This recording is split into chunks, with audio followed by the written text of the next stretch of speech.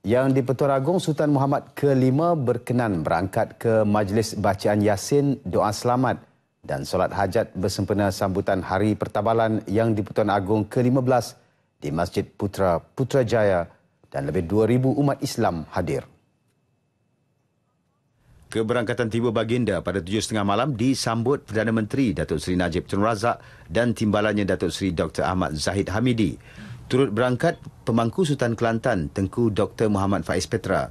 Majlis dimulakan dengan solat maghrib, disusuli solat hajat dan bacaan yasin serta tahlil yang dipimpin Imam Besar Masjid Negara Tan Sri Syekh Ismail Muhammad.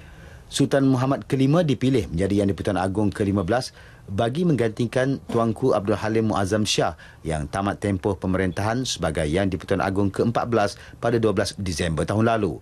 Istiadat pertabalan Yang di-Pertuan Agong Sultan Muhammad V akan berlangsung di Balai Rung Seri, Istana Negara, Isnin ini.